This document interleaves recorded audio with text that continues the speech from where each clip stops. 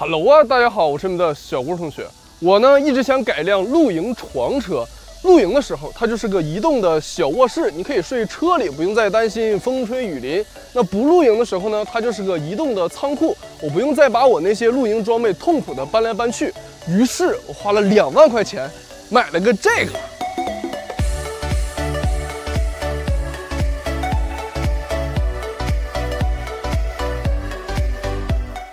那这时候呢，就有小伙伴问了，那为什么你没买一个更加卡哇伊的铃木浪迪或者是 NV 两百呢？那首先，铃木浪迪啊，它毕竟是一个十几年前就停产的车型，那现在的车况不咋地不说，而且现在价格炒得奇高，对吧？咱们不能惯着。那 NV 两百它本身就不便宜，二手车现在车况好的也得六七万块钱，所以这也超过我的预算了。那经过我的种种考量啊，我最终选择了五菱之光，而且我认为五菱之光在整个五菱的微面家族里面是最复古可爱的。那这时候呢，你又会问了，那为啥别人的都有窗户，你这个五菱之光它怎么没窗户呢？首先，这台车它的行驶证上是轻型封闭式小货车，你要知道啊。在北京，如果你想买一个乘用版的五菱之光上牌，你是需要北京的小客车指标的，那个指标可老难摇了。那如果你上外地牌呢，你只能在北京开七乘以十二天，也就是八十四天。那如果你买了一个轻型封闭小货车，不需要你有北京户口，不需要指标，不需要交五年的养老保险，只需要一张居住卡，你就能拥有一个。北京牌照的京牌小货车，能进六环，不能进五环。我就问问大家，两万块钱买个京牌的五菱之光，它不香吗？还有个好处啊，我这个车呀，它后面就没有座椅，就你不用担心因为改座椅被定义成客货混装而被罚。原厂它就长这样，但当你坐进车内，这赤裸裸的现实它就来了。那这台车呢，它居然没空调，这你知道吗？就这车。原厂没空调，它有大灯高度调节，有 ABS，有音响，甚至前车主还给我安了行车记录仪和倒车影像。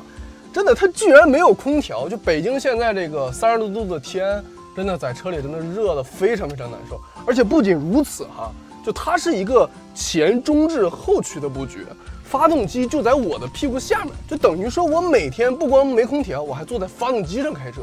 所以，正确的开这台五菱之光的方式是这样的。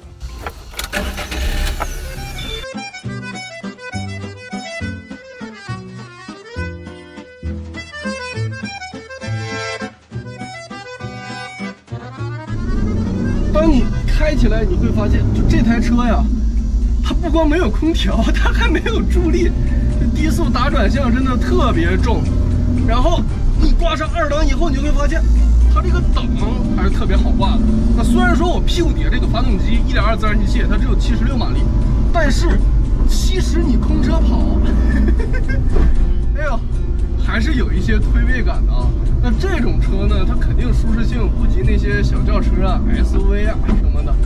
隔音降噪啊，它基本上真的就是这个音响虽然只有两个喇叭，但也只是摆设。就开这种车呀，你就听着它的发动机的声。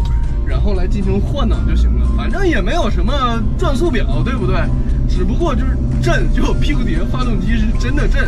那但开着还是挺好开的，就是我觉得我去开这台车，只要不上高速，走一些小山路啊，或者城市的道啊，都没有什么问题。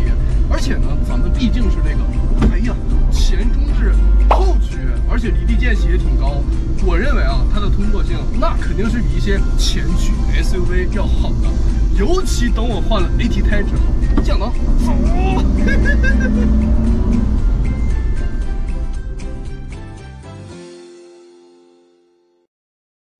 整体来看啊，我还是对我的这台两万块钱的二手五菱之光非常满意的。你想想，现在两万块钱你能买个啥，对不对？买摩托车都未必能买一个特别好的。那我接下来呢，会根据自己的想法把这台车进行一个改装。具体怎么改呢？啊，首先这台车呀，它也是有改一个 AT 胎的方案的。我还会把它改一个我喜欢的配色，增加一个车顶平台，增加一个侧爬梯。而车里呢，我不想把它改得太复杂，主要以一个功能性为主，让它拓展性好一些。在铺一些隔音降噪材料以后呢，我会用一些木板来做一个睡觉的平台，以及一些储物的空间。当然了，最重要的第一步啊，我是得赶紧给这台车改个空调。哎呦，热死我了！